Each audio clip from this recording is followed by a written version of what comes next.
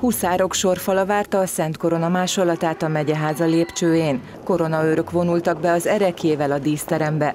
Ezt a másolatot látták eddig a világon a legtöbben. Az Egyesült Államokban Kármán László készítette az ottani magyarok összefogásával a magyar lelkület megtartása céljából. Amikor 94-ben hazatelepült, elhozta magával, halála előtt pedig a Koronaőrök Egyesületének ajándékozta. A tagok azóta ezzel a másolattal járják az országot és a határon túli területeket.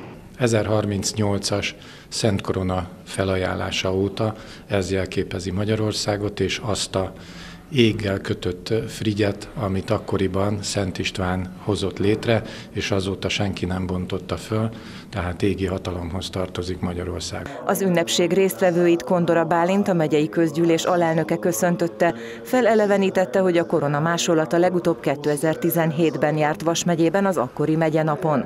Az Egyesület elnöke előadásában beszélt a koronaőrség történetéről.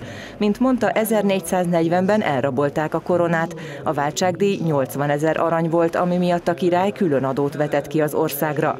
A történtek után egy 1464-es törvény létrehozta a magyar királyi koronaőri tisztséget, ami az 1944-es megszállásig működött is, majd 2011-ben állították fel újra. Az volt a legfontosabb és kifejezett célja, hogy a Szent Korona hagyományos honvédek által történő őrzését járja ki. Mert a 90-ben a rendszerváltozás idején nem volt politikai akarat ennek a szervezetnek az újraépítésére.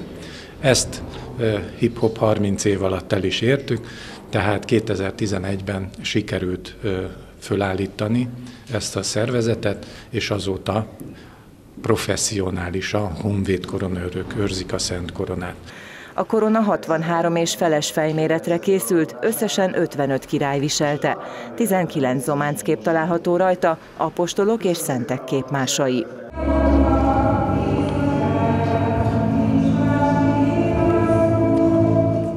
A megyeházi ünnepséget követően Brenner József atya mutatott be misét a Szalézi templomban Magyarországért, az egyház megmaradásáért és virágzásáért.